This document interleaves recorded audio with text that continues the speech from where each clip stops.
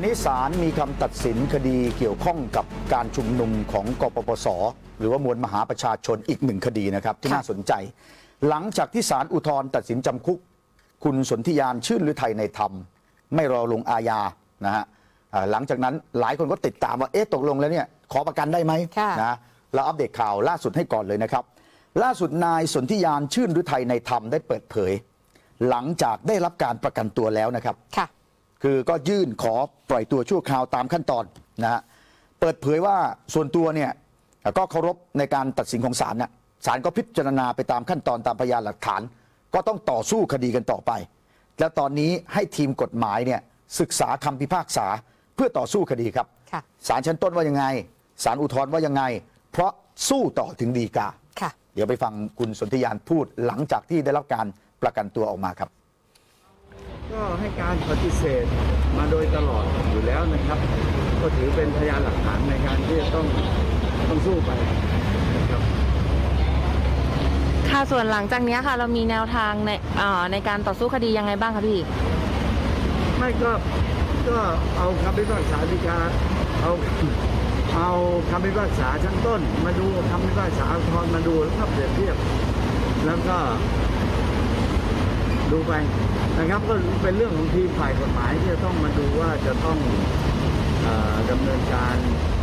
อย่างไรอ่านี่คือให้สัมภาษณ์ล่าสุดเลยนะครับค่ะคือเรื่องเมื่อเช้าที่ผ่านมาที่ศาลอาญาถนนรัชดา คดีนี้เนี่ยมีจำเลย 4 คนนะฮะก็มีคุณสนธิยานชื่นฤทัยในธรรม อาจารย์เสรีวงศ์มนทาอ่าสกลทีพัทยกุลค่ะอาจารย์สมบัติธรรมรงธัญวงศ์นะครับ เมื่อเช้านี้ทุกคนไปศาล ไปฟังคำตัดสินของศาลอุทธรณ์ค่ะนะฮะศาลชั้นต้นเนี่ยพิพากษายกฟ้องนะฮะคดีนี้ค่ะแต่ศาลอุทธรณ์วันนี้มีคำพิพากษาเนี่ยเปลี่ยนแปลงคำตัดสินศาลชั้นต้นนี่มีคุณถาวรเสนเนียมไม่ได้เป็นจำเลยคดีนี้นะฮะอ๋อแต่ว่าวันนี้เดินทางไปให้กำลังใจอ๋อค่ะมีกันมาเพียบเลยนะฮะคุณสุเทพเทือกสุบรรณนะฮะอ่าก็เดินทางมานะฮะตอนที่ไปฟังคำพิพากษาตอนเช้าเนี่ยนะครับอ่า ยังไม่ทราบคำพิพากษาตอนนั้น ทุกคนก็เคารพในคำตัดสินของศาลค่ะนะฮะแต่หลังจากที่ศาลตัดสินแล้วฮะก็เดินทางออกมาคำตัดสินของศาลคือศาลชั้นต้นเนี่ยอ่านคำพิพากษาตั้งแต่ปี 62นะฮะ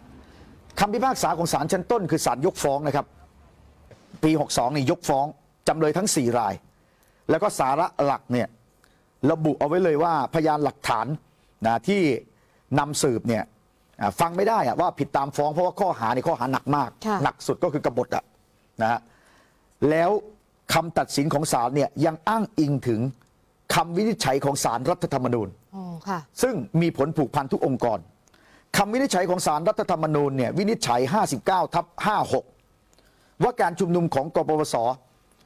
สืบเนื่องจากการแสดงความคิดเห็นเป็นสิทธิเสรีภาพ แล้วอยู่ในกรอบของรัฐธรรมนูญนะพูดง่ายๆ นะเป็นการใช้สิทธิตามรัฐธรรมนูญมาตรา 63 นะแล้วก็ยังไม่มีหลักฐานอื่นที่จะระบุว่าจำเลยทั้ง 4 คนเนยมีความผิดตามฟ้อง 8 ข้อหาค่ะพิพากษายกฟ้อง นั่นคือศาลชั้นต้นค่ะวันนี้อ่ามาฟังคำพิพากษาในชั้นศาลฎีกาจำเลยทั้ง 4 มาครบฮะไม่มีใครหนีไปไหนอ่าเดี๋ยวเราต้องดูภาพนะฮะภาพจำเลยทั้ง 4 คนในคดีนี้ ที่ยืนอยู่ข้างหลังก็คืออาจารย์เสรีวงศ์มนทาค่ะนะ คุณสกลทีพัทยกุลนะฮะอ่าแล้วก็อาจารย์สมบัติธรรมรงธัญวงศ์ค่ะนะฮะคือถ้าไปดูภาพตอนมาฮะตอนมานี่จะเห็นกันครบนะฮะแล้วก็อีกคนหนึ่งก็คือคุณสนธิยานชื่นฤทัยในธรรมค่ะนะแล้วก็สุดท้ายศาลอุทธรณ์นี่พิพากษาทีนี้ศาลอุทธรณ์เนี่ยพิพากษาสามคนที่เหลือเนี่ยยกฟ้องหมดเลยค่ะนะก็คืออาจารย์เสรี คุณสมบัติทำรงธัญวงศ์คุณสกลที ไม่มีความผิดตามฟ้อง ยกฟ้องค่ะ ตามศาลชั้นต้นนะแต่มีกรณีของคุณสนธิยานชื่นหรือไทยในธรรม แล้วผิดตรงไหนที่คุณสนธิยานผิดเนี่ยผิดตรงไหนนะไม่ได้ผิดข้อหากบฏค่ะไม่ได้ผิดข้อหาบุกรุกสถานที่ราชการอะไรนะฮะแต่สิ่งที่โดนฟ้องแล้วก็เป็นประเด็นความผิดคือ ได้มีการไปขัดขวางการเลือกตั้งนะนั่นคือประเด็นที่ทำให้คุณสนธิยานชื่นหรือไทยในธรรมเนี่ยถูกตัดสินว่ามีความผิดพรบ กฎหมายประกอบรัฐธรรมนูญว่าด้วยการเลือกตั้ง โดยร่วมกับนายสำราญรอดเพชรนะไปขัดขวางการเลือกตั้งล่วงหน้าที่โรงเรียนสุขโขทัยนะฮะก็ต้องโทษจำคุกหนึ่งปี แต่คำให้การเป็นประโยชน์ สุดท้ายจึงลดโทษนะเหลือจำคุก 8 เดือนค่ะโทษจำคุกไม่รอลงอาญาค่ะนะเพราะฉะนั้นคุณสนธิยาเนี่ยผิดในข้อหานี้ตามคำตัดสินศาลอุทธรณ์ค่ะซึ่ง เปลี่ยนจากศาลชั้นต้นค่ะนะเพราะฉะนั้นชั้นต้นยกฟ้องอุทธรณ์ลงโทษค่ะเพราะฉะนั้นขัดกันกับคำพิพากษาศาลล่าง มันจึงมีประเด็นที่สู้กันต่อได้นะส่วนคนอื่นๆก็ยกฟ้องนะครับจบแล้วแล้วหลังจากตัดสินอ่าคุณสุเทพเทือกสุบรรณเนี่ยให้สัมภาษณ์ค่ะอ่าเดี๋ยวไปฟังรายละเอียดเพิ่มเติมนะศาลอุทธรณ์ได้อ่านคำพิพากษา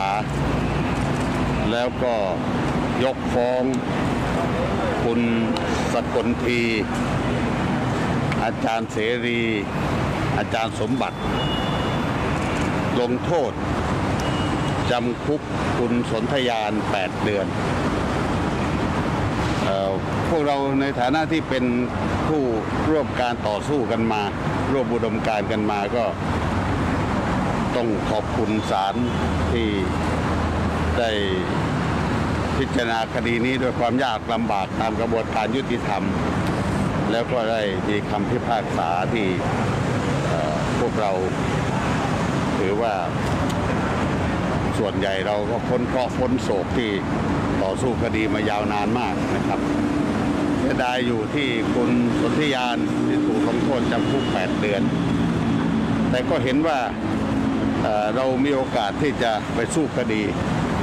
ใน ชั้นศาลฎีกาได้ เพราะว่าจากคำวินิจฉัยในข้อเท็จจริงของศาลอุทธรณ์หลายบทหลายตอนเนี่ยอะจะเป็นประโยชน์ในการที่เราจะใช้เป็นข้อต่อสู้ในศาลอันนี้คือคำให้สัมภาษณ์ของอดีต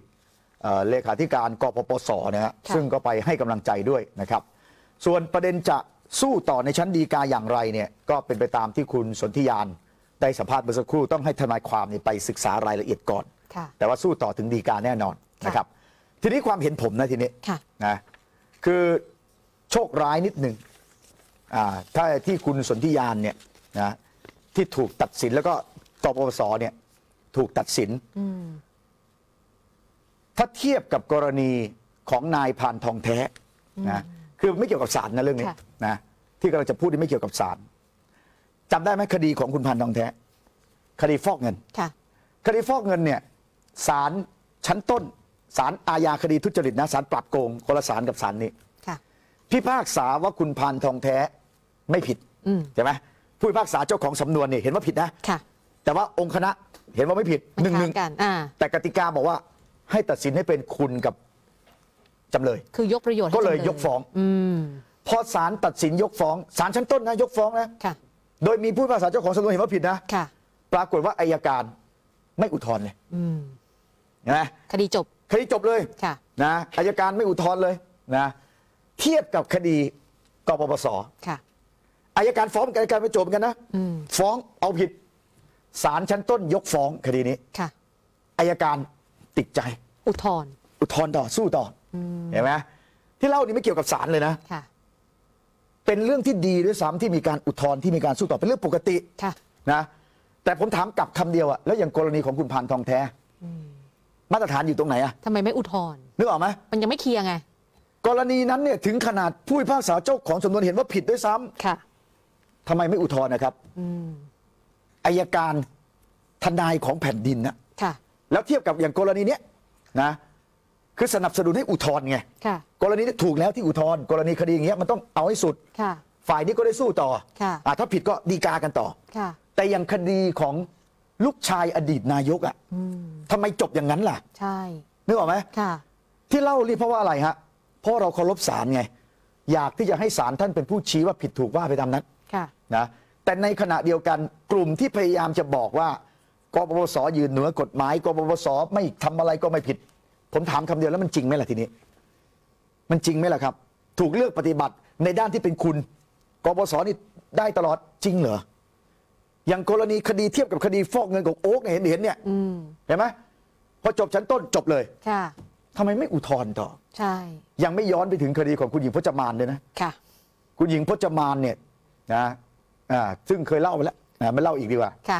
ที่นี่เนี่ยรัชดาอันนี้ก็คือการต่อสู้กันตามค่ะกระบวนการยุติธรรมค่ะ เห็นไหมแล้วก็อีกคดีหนึ่งทีนี้ก็คือกรณีของตำรวจที่ถูกยิง ค่ะ ก็คือ สิบตำรวจตรีเดชวิทย์เลตเทนสันนะคะ หรือว่าหมู่เดวิดครับวันนี้ทางด้านของรองผบช.น.นะคะพลตำรวจตรีจิรสันต์ แก้วแสงเอกก็มีการเปิดเผยความคืบหน้า บอกว่าตอนนี้เนี่ยตำรวจมีการตรวจสอบกล้องวงจรปิดแล้วนะคะ แล้วตำรวจก็ไปเจอว่าหลังจากที่ก่อเหตุเนี่ยปรากฏว่าคนที่ก่อเหตุเนี่ยมีเป็นกลุ่มนะคะก่อเหตุเสร็จปุ๊บแตกกระเจิงเลยค่ะ วงแตกแต่ว่ากล้องวงจรปิดเนี่ยจับภาพเอาไว้ได้อะลองฟังเสียงท่านรองพบชนค่ะ เรียกว่าใกล้มากแล้ว น่าจะได้ออกเอ่อออกออกหมายจับได้เร็วๆนี้ครับถ้าที่ติดตามนะครับคนครับที่จะต้องมีในส่วน ก็หลายคนฮะหลายคเป็นนผู้ลงมือยิงหรือเป็นผู้อยู่ในกลุ่มฮะเอ่อทั้งอยู่ในกลุ่มแล้วก็อาจจะมีผู้ลงมือยิงด้วยอะไรเงี้ยนะฮะก็อยู่ระหว่างของการดำเนินการครับ นี่เห็นไหมคือท่านบอกว่าคือภาพจากกล้องวงจรปิดเนี่ยครับจับภาพเอาไว้ได้ แล้วมีหลายคนด้วย วันนี้ทีมข่าวเราก็โทรศัพท์ไปสอบถามนะคะ แหล่งข่าวจากกองบัญชาการตำรวจนครบาลเนี่ยยืนยันว่าตอนนี้เนี่ยออกหมายจับผู้ต้องหาแล้ว 10 รายครับออกหมายจับแล้วนะ 10 ราย และ 1 ใน 10เนี่ยน่าจะเป็นคนร้ายที่ยิงหมู่เดวิดด้วย ซึ่งถ้าเกิดว่าจับตัวมาแล้ว 10 คนนะคะ หลังจากที่ติดตามจับกลุ่มตัวได้แล้วเนี่ยก็จะมีการพิสูจน์อัตลักษณ์ ด้วยการเอาภาพจากกล้องวงจรปิดเนี่ยมาตรวจดูว่าคนไหนเนี่ยน่าจะเป็นคนยิง เพื่อเป็นหลักฐานในการเทียบเคียงตัวบุคคลนะครัคะบแล้วก็ขยายผลว่าใครเป็นคนยิง และแจ้งข้อกล่าวหาต่อไปค่ะอ๋อนี่แสดงว่าเอ่อหมายจับออกแล้วใช่ไหมหมายจับออกแล้วอันนี้คือยืนยันจากแหล่งข่าวในกองบัญชาการตำรวจนครบาลใช่ค่ะหมายจับออกแล้วผู้ต้องหา 10 รายค่ะที่มีส่วนเกี่ยวข้องกับการก่อเหตุยิง แต่นะ ในข้อหาฝ่าฝืนพรกฉุกเฉิน พรบควบคุมโรคติดต่อ ค่ะ โดยคาดว่าหนึ่งในจำนวนนี้มีคนที่ยิงด้วย คือถ้าแบบนี้ก็เท่ากับว่ายังไม่ได้มีการระบุข้อหายิง ใช่ค่ะ ถูกไหมฮะ ค่ะ ถ้าแบบนี้นะอะถ้าเอาตามแหล่งข่าวที่เปิดเผยมาเนี่ยค่ะนะแต่ว่าใน 10 รายนี่แหละ ที่ตำรวจมีข้อมูลอืม นะอยู่ใน 10 รายนี่แหละ ที่เป็นคนร้ายก่อเหตุยิง ใช่ นะอ่าแล้วก็ การสอบสวนขยายผลเนี่ยมันทำให้ทราบว่าใครเป็นคนก่อเหตุ ก็จะมีการ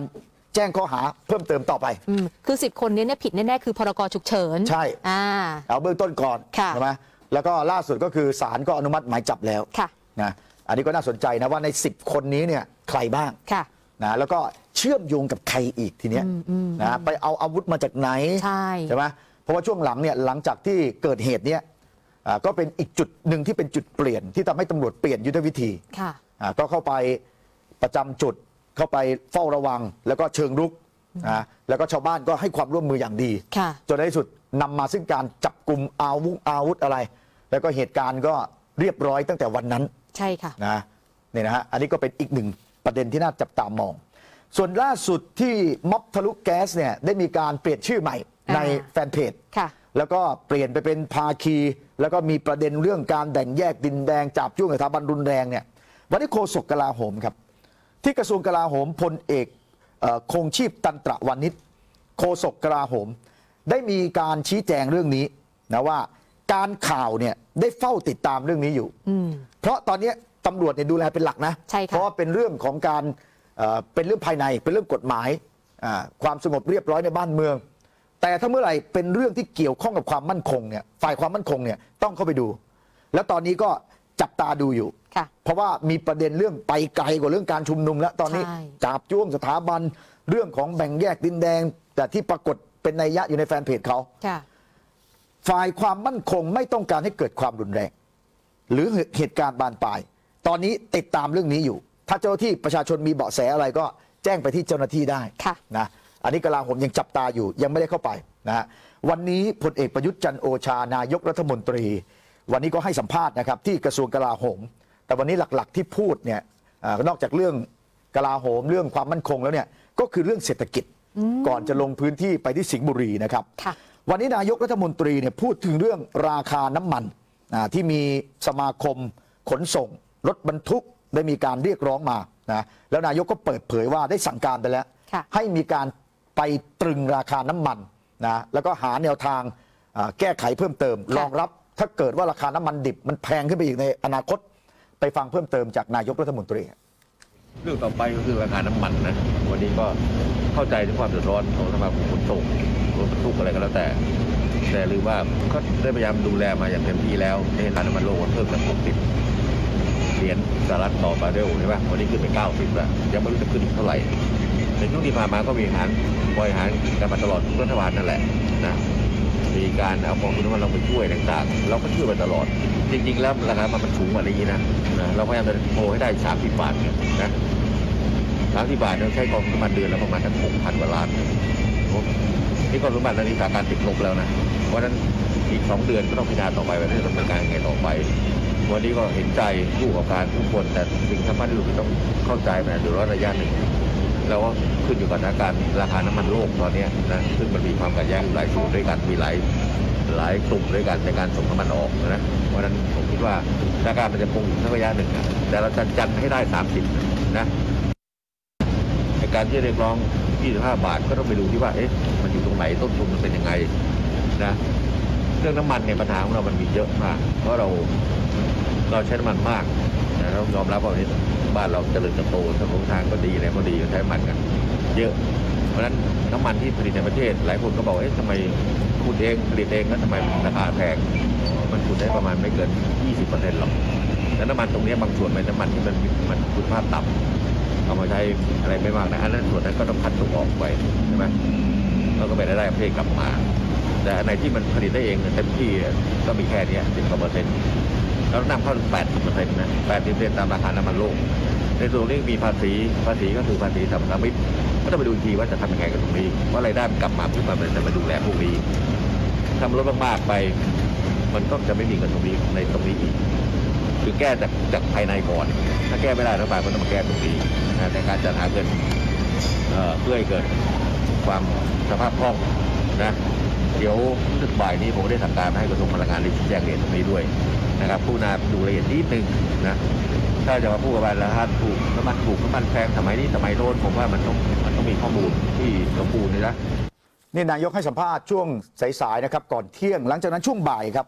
คณะกรรมการบริหารนโยบายพลังงาน มีการประชุมนะฮะก็คือกปงค่ะรองนายกสุพัฒนพงษ์พันธ์มีชาวรัฐมนตรีว่าการกระทรวงพลังงานในเป็นประธาน แล้วก็บทสรุปที่ออกมาล่าสุดนะฮะก็คือมีมติ นะในการที่ตรึงราคาน้ำมันดีเซล ไม่ให้เกิน 30 บาทต่อลิตรนะแล้วก็จะกลับไปมี B7 B10 B20 ค่ะนะก็เริ่ม 1 พฤศจิกายนนี้นะครับ แล้วก็จะใช้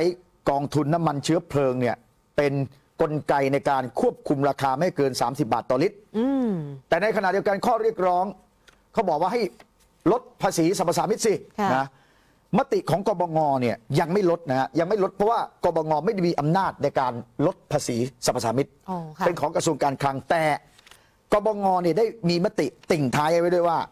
ถ้าหากสถานการณ์ราคาน้ำมันดิบในตลาดโลกค่ะราคาสูงไปกว่านี้ สูงเกินเกณฑ์ เกณฑ์ที่พูดถึงก็คือ ราคาน้ำมันดิบดูไบเกิน 87.5 เหรียญสหรัฐต่อบาร์เรลค่ะนะ ถ้ามันเกินเพดานตรงนี้ขึ้นไปเมื่อไหร่นะอ่าแล้วสถานภาพของกองทุนน้ำมันไม่เพียงพอที่จะมาอุดอืมนะก็จะประสานกระทรวงการคลังให้ลดภาษีสรรพสามิตเป็นลำดับถัดไปอ๋อค่ะเก็บเอาไว้ในหน้าตักก่อนค่ะนะเป็นอีก step หนึ่งเป็นอีกดาบหนึ่งพูดคือมีง่ายมีเพดานเอาไว้ๆตอนนี้ใช้อะไรไปก่อน ใช้กองทุนน้ำมันอืมนะไม่ให้เกิน 30 บาทค่ะอ่าแล้วถ้าเกิดในอนาคต สถานะกองทุนน้ำมันไม่พอที่จะมาอุ้มแล้ว เพราะว่าตอนนี้ก็อุ้มอย่างอื่นอยู่ค่ะ นะอุ้มน้ำมันประเภทอื่นอยู่ ก็จะใช้กลไกภาษีสรรพสามิตเพราะราคาขายปลีกเนี่ยในเนี้ยมันมีทั้งภาษีสรรพสามิตประมาณ 5 บาทตอนนี้ค่ะ นะแล้วก็กองทุนน้ำมันตอนนี้ไม่ได้เก็บแทบจะไม่ได้เก็บแล้วดีเซลอะ ค่ะ จะเอามานอกจากไม่เก็บแล้วจะเอามาอุ้มด้วยซ้ำทีนี้อืมอ่าเหมือนกับเติมน้ำมันดีเซล ถ้าราคามันสูงกว่านี้นะ เกิน 30 บาทนะ ก็รัฐก็ช่วยจ่ายให้ส่วนเกินผู้ใช้ เติมน้ำมันเนี่ยก็จะได้ราคาจริงเนี่ยไม่เกิน 30 บาทค่ะ นะอันนี้คือเอ่อหลักๆที่กองทุนน้ำมันวันนี้กองกบงเนี่ยมีมติ เดี๋ยวไปฟังรายละเอียดเพิ่มเติมนะฮะคุณสุพัฒนพงษ์พันธ์มีเชาเนี่ยก็ให้รายละเอียดว่าสถานะกองทุนเนี่ยมันเป็นยังไงค่ะ อ่าเดี๋ยวไปฟังเพิ่มฮะ วันนี้สถานะกองทุน ในคาดว่าจะเหลือประมาณสัก 9,000 ล้านบาท หากไม่พออีก นะครับ สถานการณ์น้ำมันยังตลาดโลกยังขึ้นไปอีก ก็ใช้สิทธิ์นะครับภายใต้พระราชบัญญัติกองทุนน้ำมันเชื้อเพลิง ขอกู้เงินเพิ่มเติมขึ้นมาได้ เป้าหมายแรกก็คือสองหมื่นล้านไม่ต่ำกว่านั้นนะครับ แต่กองทุนน้ำมันเชื้อเพลิงเปิดช่องให้เรากู้ได้ประมาณสักสองหมื่นนะครับกำลังดูว่าจะมีช่องทางอื่นที่จะเพิ่มเติมได้มากกว่านั้นหรือไม่ นะครับ หากไม่พออีก ตรงนี้ก็คงจะต้องไปประสานงานกับทางกระทรวงการคลังว่าจะมีมาตรการอื่น ๆ ที่จะมาเสริมขึ้นไปได้อย่างไรนะครับ แต่จากการประเมินเบื้องต้น การประเมินเบื้องต้น เงินเก้าพันล้านบวกกับเงินกู้ที่มาอีกสักสองหมื่นล้านเนี่ย ในระยะเวลาประมาณสักสี่สามเดือนสี่เดือนจากเนี้ยน่าจะประคับประคองนะครับ หากราคาน้ำมันไม่เกิน 87.5 เหรียญต่อบาร์เรลหากราคาน้ำมันดิบในตลาดโลกสูงขึ้นอีก มีความเป็นไปได้หรือไม่ที่จะพิจารณาปรับลดภาษีสรรพสามิตจาก Top News เชิญมีความเป็นไปได้ทั้งนั้นแหละครับนะครับ ในอดีตที่ผ่านมาเนี่ยน้ำมันมันเคยไปร้อยกว่าเหรียญเงินกองทุนเนี่ย เงินกองทุนนะครับ ติดลบมหาศาลนะครับ บางรัฐบาลก็ลดภาษีสัมปสามิตบางรัฐบาลก็ใช้กองเงินกองทุน มันก็กระเป๋าซ้ายกระเป๋าขวา เหมือนกันนะครับ เหมือนกัน ขอเพียงแต่หลักหลักที่มีอยู่ก็คือ หลักของการที่ตรึงไว้ที่ราคา 30 บาทนะครับ ตัวนี้มันเป็นจุดที่เป็นหลักที่เราใช้กันมาโดยตลอดระยะเวลาในอดีตที่ผ่านมา เกือบจะเรียกว่าทุกรัฐบาล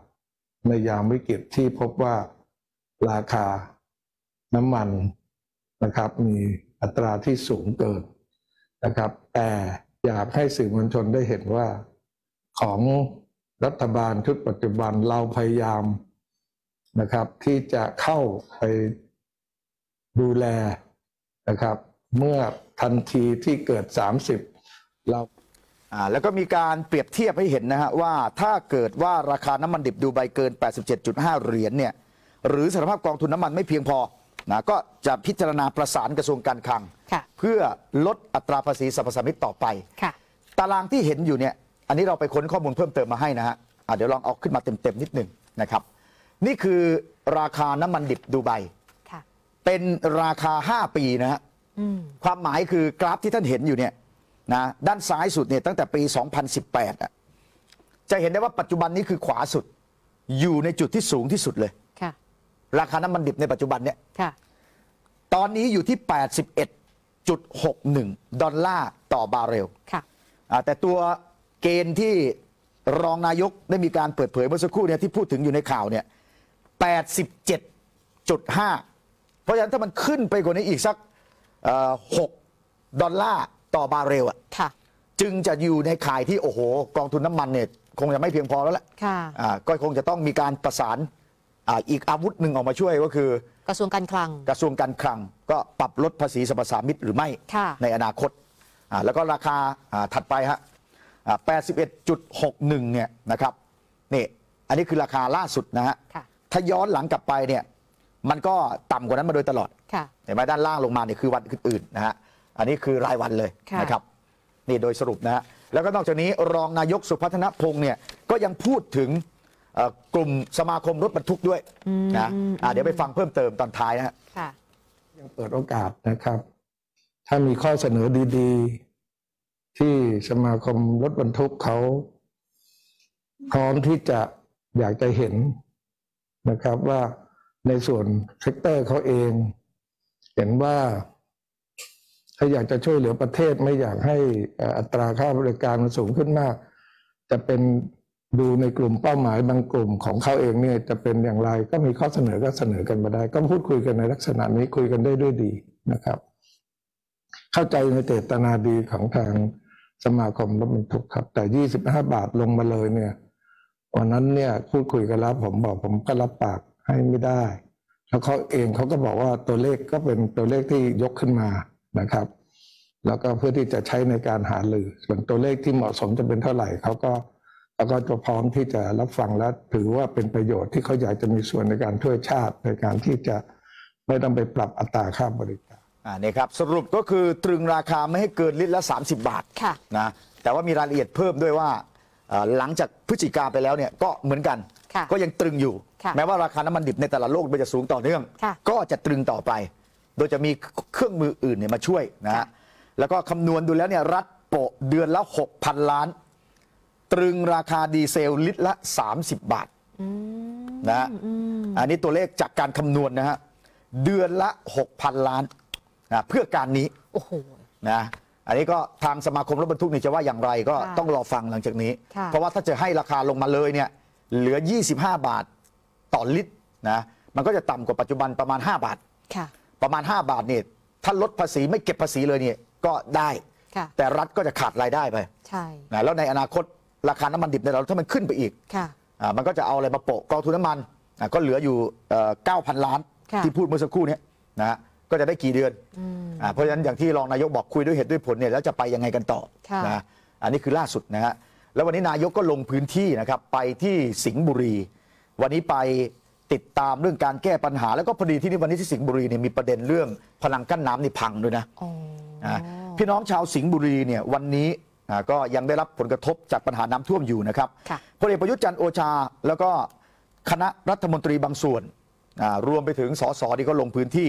มีการลงเรือท้องแบนด้วยค่ะนะครับก็ไปเจอกับพี่น้องชาวสิงห์บุรีอ่าที่ได้รับผลกระทบ แล้วก็มีบางส่วนเนี่ยเนี่ยก็ชูป้ายเชียร์นายกด้วยนะบรรยากาศนี่ไม่ปรากฏรายงานเรื่องการประทะอะไรนะค่ะนะเพราะว่าสิงห์บุรีเนี่ย พูดง่ายๆก็คือเป็นพื้นที่เอ่อที่สสเนี่ยมีอยู่หนึ่งคน ก็เป็นสสพลังประชารัฐค่ะ นะแล้วก็พี่น้องประชาชนเนี่ยก็เดือดร้อน แต่ว่านายกนี่ก็ไปไปให้กำลังใจค่ะนะฮะ ในบรรยากาศก็เป็นเหมือนเวลาลงจังหวัดอื่นๆนะครับ ทีนี้จะให้ดูทีนี้เอ่อบรรยากาศตอนลงนะฮะอ่านายกรัฐมนตรีเนี่ยพูดหลายเรื่องนะพูดถึงเรื่องเออคันพนังกั้นน่ะคันกั้นน้ำพังอย่างเงี้ยไหลก็มาให้รีบไปซ่อมค่ะนะไปดูสีสันและไฮไลท์นะครับอ่าช่วงที่พายเรือนะแล้วก็ไปเอาของถุงยังชีพไปแจกจ่ายค่ะแล้วได้มีโอกาสพูดคุยกับพี่น้องประชาชนด้วยค่ะอ่าเดี๋ยวไปดูเหตุการณ์นี้ฮะอ้าวเป็นไงบ้าง ไหวไหม ยังสู้อยู่ไหม สู้ๆไหมลูก สู้ๆไหมพี่ ต้องสู้นะ ต้องสู้นะ คนไทยต้องสู้ ไม่ว่าจะภัยอะไรมาถึงก็ต้องสู้ รัฐบาลนายกในห่วงใยที่สุดอะ เพราะมันเป็นภัยธรรมชาติใช่ไหมแต่เราก็แก้ไขปัญหาได้เป็นลำดับไป เดี๋ยวก็จะมีเขื่อนทางนี้อีกนงบประมาณปี65จะสร้าง 400กว่าล้านเบิ้องนี้มันจะหายละ เพราะวันนี้มันติดในน้ำเจ้าพระยานี่ไงตรงนี้ไม่เขื่อน เนาะสู้ไหวไหม อายุยืนยาว ทุกคนสู้สู้สู้สู้ที่ใครเนี่ยใครเนี่ยเหรอนายกรัฐมนตรีเหรอเนี่ยเนี่ยใช่เหรอรัฐมนตรีของเธอไงขอบคุณมากนะจ๊ะย่าไปไปมีเรือทุกบ้านนี่นะโอ้แล้วนี่ยาวเลยเนาะทำนมจีนเหรอจ๊ะ นั่นไงทำนมจีนทำให้อร่อยใส่หน้ากากเอาขึ้นไปนี่หน้ากากปิดจมูกเดี๋ยวหัวตกมาเลยตกน้ำนะน้ำบางคืออ่อยตอนเนี้ย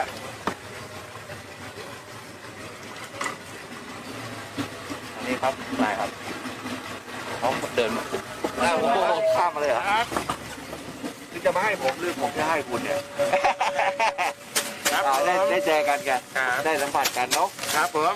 อ่าพออยู่พอกินไปก่อนตอนนี้นะ ได้ครับเดี๋ยวมาลงนี่เท่าไหร่เนี่ยมันมาเมื่อไหร่น้ำเธอเนี่ยก็เกือบเดือนแล้วครับ เกือบเดือนนะเพราะนอกขัดกันน้ำใช่ไหมอ้าวเดี๋ยวดูให้ไปจ้ะอันดีนะจ๊ะอดทนอีกนิดนะจ๊ะช่วยนิดนึงแล้วไงตัวเล็กว่าไงตัวเล็กอะ อันนี้แจกไปแล้วบัตรแต่แต่ได้ปีนบุญไปด้วยกันไงเนาะไม่ได้เป็นการสร้างภาพอะไรทั้งสิ้นอะเพราะว่าเป็นห่วงใยจริงๆนะนะสู้ๆนะลูกเฮ้ยตัวเล็กตัวไม่เล็กกันเนี่ยตัวใหญ่นะเนี่ยระวังหน้ากากเลยลูกนะจ๊ะตั้งใจเรียนหนังสือนะคะ ทุกคนนะจ๊ะใครแอบอยู่โน่นน่ะ ด้วยการดูแลให้ปลอดภัยก่อนนะจ๊ะระวังว่ายน้ำเป็นมาเนี่ยเล็กครับอนุบาลขัดขัดลอยๆพอไว้หน่อยนะเดี๋ยวไปโอ้โหท่านนายกรัฐมนตรี อ่านี่เป็นบรรยากาศตอนเรือท้องแบนนะ ค่ะนั่งเรือท้องแบนไปให้กำลังใจชาวบ้านแล้วก็มอบถุงยังชีพนะครับค่ะคือชาวบ้านชาวชุมชนบางแคในใต้สะพานบางละจันจังหวัดสิงห์บุรีเนี่ยก็ได้รับผลกระทบอืมนะชาวบ้านเอ่อกว่าพันครัวเรือนนะฮะอ่าที่ได้รับผลกระทบ แล้วก็มีชาวบ้านในละแวกใกล้เคียงเนี่ย ก็มาให้กำลังใจด้วยค่ะคือตอนพายเรือไปเดี๋ยวก็ไปเจอชาวบ้านที่ได้รับผลกระทบค่ะทีนี้ตอนที่มีการให้กำลังใจกันอืมนะเดี๋ยวไปดูบรรยากาศนะฮะ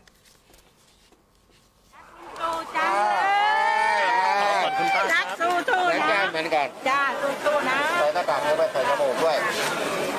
หน้ากากใส่ปิดจมูกแล้วสู้สู้สู้ครับแซ่บขอบคุณมากพี่ขอบคุณ สู้ๆรักสู้ๆนะเองนะคะ ขอบคุณนะ คืนนะครับคืนต่างระดับครับคืนต่างระดับที่เหลือมีใครแจกอะรัฐมนตรีรัฐมนตรีช่วยแจกค่ะนายกด้านหลังอะค่ะแถวสองรถไปนานๆนะคะอย่าไปไหนนะคะเอออยู่ที่พวกเราให้รัฐมนตรีช่วยแจกอะค่ะท่านบอก ระ